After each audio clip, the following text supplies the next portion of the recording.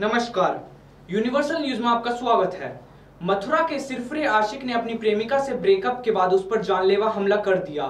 सिरफरे आशिक ने युवती पर चाकुओं से हमला कर दिया। पर हुए हमले के बाद पुलिस मौके पर पहुँच गई और घायल युवती के इलाज के लिए अस्पताल में भर्ती कराया और हमला करने वाले आशिक की योगी सरकार महिलाओं की सुरक्षा के भले ही लाख दावे करती हो, मगर यूपी में महिलाओं से छेड़छाड़ और आत्मघाती हमले कम होने के नाम नहीं ले रहे। इस तरह का मामला सामने आया मंगलवार की देर शाम। मथुरा के शहर कोतवाली इलाके की कृष्णा नगर पुलिस चौकी इलाके में हाईवे प्लाजा में एक शॉप पर काम करने वाली युवती पर आशिक मिजाज। सिरफिरे लड़के ने उस समय चाकुओं से हमला कर दिया, जब वो हाईवे प्लाजा से छुट्टी कर अपने घर जा रही थी। अस्पताल में बेड पर ज़िंदगी और मौत के बीच जूझती ये है जूही जूही।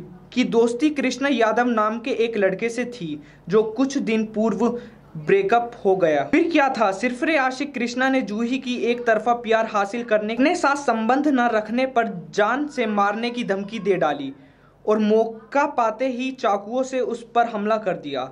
सिरफरे आशिक कृष्णा ने एक दो नहीं, बल्कि पूरे पाँच चाकू मारकर जूही के पेट को छलनी कर दिया, जिससे जूही घटनास्थल पर ही बेहोश होकर गिर गई। मौके पर मौजूद लोगों ने जूही को अस्पताल पहुँचाया और जहाँ डॉक्टर ने उसकी हालत गंभीर देखते हुए हायर सेंटर के लिए रेफर कर दिया, मौके पर पहुँची पुलिस ने सारी घटना की जानकारी कर पीड़ित की माँ की तहरीर पर आरोपी के खिलाफ मुकदमा दर्ज कर जाँच में जुट गई है। मगर फ़िलहाल पुलिस इस पूरे मामले पर कुछ भी बोलने व बताने को तैयार नहीं है।